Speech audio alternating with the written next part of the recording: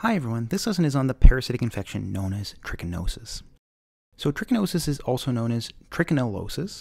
It is an infection with a parasitic nematode species of the genus Trichinella. So it is a nematode, meaning that it is a worm-like parasite that can infect animals and humans. So, trichinosis is going to be a foodborne infection that is acquired from consumption of uncooked or undercooked meat products. And more specifically, it's going to be pork or pork related products that are going to be the primary sources of infection. Now, case numbers of trichinosis may not look like it is a significant health concern, but it may be that trichinosis is underrecognized or underreported. The case numbers that are reported do show that prevalence at least has been declining over the past several decades due to improving inspection standards. So, improved farm inspection standards, improved meat handling procedures, and improved cooking procedures as well. But there are still increased numbers and outbreaks that occur in developing countries. And this condition, because it is from contaminated pork products, it is more common in countries with high pork consumption. So, not only do pigs contain this parasitic nematode, but other species that may be consumed by humans are also hosts to this parasite as well. So some of these again include the domestic pig, but some include the wild boar and bears as well. So if any of these other species are consumed by humans, these species can also harbor these Trichinella species. So one example again is Trichinella spiralis, but there are other species of Trichinella that can cause infection and lead to trichinosis. So let's talk about how humans can be infected with this parasite. So, as mentioned before, it's going to be from patients consuming contaminated meat products. Most cases are going to be pork related, but we can see it from other animal species we talked about before. And it's going to come from when a patient eats a piece of contaminated meat that contains an encysted trichinella larva. So, this encysted larva is going to be in the striated muscle, which is the meat of the animal. And when a human eats that encysted larva, it's going to go through their esophagus into their stomach and enter into the small intestine. The larva is then going to be released into the small intestine and then subsequently mature into an adult form of the Trichinella species. So the adult nematodes are going to produce more larvae. So they're going to become adults and they're going to produce more larvae themselves. Now, in some cases, the larvae can then invade the intestinal mucosa. The intestinal mucosa is the inner lining of the intestines. So they're going to in some cases, invade through that intestinal mucosa and enter into the circulation of the patient. They're going to enter into the blood supply of the patient. We can then see in some patients the larva being deposited into their own striated muscle, so into their own skeletal muscle. So this can be anywhere in the body, including the arms or the legs. And what will happen is the larva will be deposited into that striated muscle, and then a nurse cell will be produced. So, a nurse cell is going to be the patient's own cell that is used to nourish the larva. So, what's going to first happen is that when the larva gets into the striated muscle of the patient, the larva itself is going to become encapsulated. The host cell itself is going to produce nourishing capillaries to feed that larva. The host cell then undergoes basophilization, which means that the host cell itself becomes more basophilic. And then there's going to be certain alterations in the host cell itself. So there's going to be alterations in the nuclei position. If it's a multinucleated cell, there's going to be either increases or decreases in number of nuclei, and the position of the nucleus itself may be shifted due to this larva being implanted into the patient's striated muscle. Then the immune system is going to react to that trichinella larva and the trichinella larva metabolites. So this immune reaction is going to cause a lot of the signs and symptoms we're going to talk about in the upcoming slides. So again, not all cases will lead to invasion into other bodily systems, but some cases can. So in the cases where it does leave the gastrointestinal system, this parasite, if it does leave the gastrointestinal system, it again enters into the circulatory system, the blood supply, and then it can enter into striated skeletal muscle and other bodily systems as well, which we didn't talk about in the last slide, but some of them can include the central nervous system or CNS, and some other systems can include the heart and the lungs. So these Trichinella larvae can enter in and deposit into many different bodily systems, leading to many different signs and symptoms we're going to talk about in the upcoming slides. So let's talk about the clinical features of trichinosis. So in some cases, patients that have been infected with this parasite can be asymptomatic, meaning that they don't have any symptoms at all. This is going to occur in patients with low numbers of infective organisms. If there's only a few larvae, they may not actually experience any symptoms at all. But the symptoms are going to occur when we can see larger numbers of infective organisms. If the patient has ingested large amounts of the Trichinella species, or if they've had multiple cases where they've ingested small amounts and there's an increasing burden of infective organisms, then we can see symptoms in these patients most commonly. And there are three phases of this condition. One is going to be the intestinal phase, and as its name implies, it's going to be when the Trichinella parasite is in the intestinal system. The second phase is going to be the invasive phase. So, the invasive phase is when that parasite invades through the intestinal mucosa and enters into the circulation and invades other bodily systems. And then the third phase is going to be what is called the convalescent phase. The convalescent phase is where the patient is recovering and healing. So, again, as I mentioned before, not all cases will progress through all phases, but as we will see, as we move through these phases, if patients undergo these further subsequent phases, they're more likely to experience symptoms, and we're going to talk about those here in a moment. Now, let's talk about the signs and symptoms of each of those phases. Again, these are only going to occur in patients who are symptomatic. So, in the intestinal phase, if patients are symptomatic, the most common symptom is going to be diarrhea. So, again, this is the most common finding. In other cases, patients may experience constipation, although this is going to be less common. Patients can also experience anorexia, so they lose their appetite and they can have some weight loss. They can also experience nausea and vomiting in some cases. They can also experience abdominal discomfort.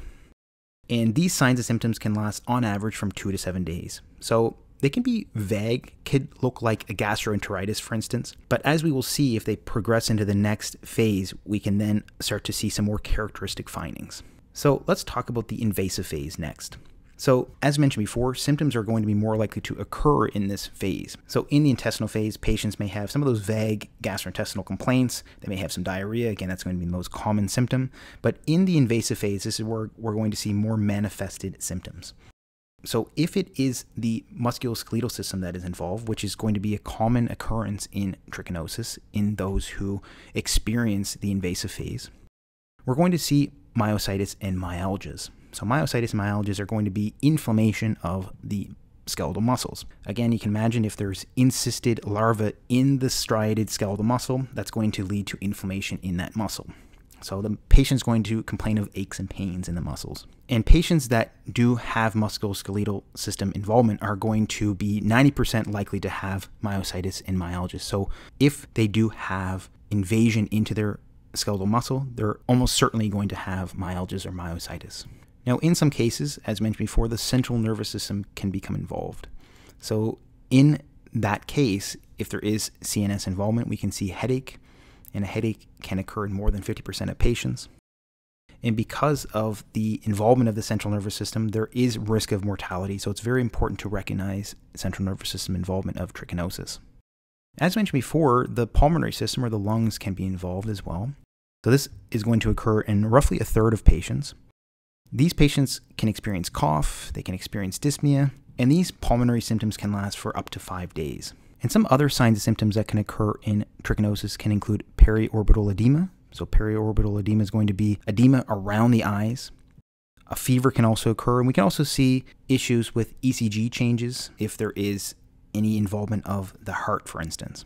And symptoms of the invasive phase can last for weeks to months. In the last phase, the convalescent phase, this is where the larva encystment and repair occurs. So, this is where the body starts to deal with the larva and repairing the tissue that has been damaged by the larva. So, it starts to deal with the damage to the skeletal muscle or some other bodily systems as well. So, in this phase, symptoms are most commonly going to begin to improve at two months. But again, this phase can take months to years for full improvement. Symptoms that may occur during the convalescent phase include the following cachexia. So, cachexia is where the patient becomes very thin, loses a lot of weight, loses a lot of muscle mass. And then edema. Edema is going to be where there's swelling in certain parts of the body. So, these can be some of the signs and symptoms of the convalescent phase. Now that we know the signs and symptoms, how do clinicians diagnose trichinosis? So, serology is going to be important in diagnosing this condition. So, serology looking for anti trichinella antibodies, so the important thing about serology looking for these antibodies is that they're going to be positive usually only after 2 to 3 weeks of infection, and the antibodies themselves once they are present can last for months to years. So when looking at a patient that has a lot of those signs and symptoms we talked about before, if it's early on infection, you may not see the anti-trichinella antibodies. And another point to make note of is that even after a patient has cleared this infection, they can have these antibodies. So, if, for instance, years later, if they have certain signs and symptoms and there's some suspicion of trichinosis, if they were to check for these antibodies, they will be present, but it may not be due to a present condition. It may have been due to a past infection with this condition. So sometimes these antibodies can be tricky to utilize, especially if too early on in infection and if it's been many years since a patient has been infected with this condition. And then ELISA or enzyme linked immunosorbent assay is highly sensitive and specific for trichinosis. And there is other blood work that's very important for trichinosis as well. So, doing a CBC or complete blood count is going to be important. So, looking at white blood cells, leukocytosis or high elevated white blood cell count is going to occur in the majority of patients. And then, more specifically, when we look at the eosinophils, so those are going to be the white blood cells that are active in parasitic infections, they are going to be elevated as well. So, eosinophilia is going to occur in patients with trichinosis, and it's going to occur at roughly 10 days into infection. So it's going to take a little time before the eosinophils are going to elevate. And there's going to be a peak level of these eosinophils at roughly three to four weeks. And essentially, all patients with trichinosis will have eosinophilia unless it is a very, very severe condition where there is suppression of eosinophils. And then another important blood marker to look for is creatine kinase or CK. So, creatine kinase is going to be something that's present in muscles. So, because in patients who have that skeletal muscle involvement, the larvae get encysted into skeletal muscle, they can lead to damage of those skeletal muscle, leading to release of creatine kinase. So, in those patients with skeletal muscle involvement, they can have elevated CK or elevated creatine kinase. And then another blood marker that can be used is immunoglobulin E. So, immunoglobulin E is also going to be increased in cases of trichinosis as well. So, a lot of the diagnoses are going to be made by looking at the history of the patient, seeing that they've eaten contaminated pork products, seeing that they have some of those signs symptoms we talked about in the last few slides, and then doing this blood work to see some of these elevations we talked about here. But other cases can be diagnosed by muscle biopsy. So, this is actually going to be the definitive way to diagnose this condition. So, if there is skeletal muscle involvement, taking a muscle biopsy to see the trichinella larva is going to be a definitive diagnosis. And in some other ways to perform diagnostic methods, include a CT scan and MRI of the head if there is any suspicion of CNS involvement. An ECG can be used if there's any suspicion of cardiac involvement, and then a lumbar puncture can be used in patients with central nervous system involvement as well. So, in some cases, they can actually see the larva in the lumbar puncture. Once a clinician has diagnosed this condition, how do they treat it? So, albendazole or mebendazole are going to be the antihelminthic treatments that are used to treat trichinosis. So with regards to albendazole, it's going to be roughly 5 milligrams per kilogram per day for seven days. And it's especially going to be effective early on in the course of the disease, especially within the first three to seven days. It can be taken or given after the patient has consumed contaminated meat products. So, this is another way to essentially try to prevent the spread of the trichinella larva from invading past the gastrointestinal mucosa and getting into the skeletal muscle. So it's again used to treat trichinosis, but also to prevent the trichinosis from getting into other bodily systems. So albendazole and mebendazole are going to be the treatments that are most often used to treat trichinosis, but in some cases, in some patient populations, pyrantel is going to be used. So pyrantel is going to be used for children under the age of two and for pregnant patients. And the doses are going to range from 10 to 20 milligrams per kilogram for a single dose. So these are going to be some of the medical treatments for trichinosis. If you want to learn more about other infectious diseases, please check out my infectious disease playlist. And if you haven't already, please like and subscribe for more lessons like this one. Thanks so much for watching, and hope to see you next time.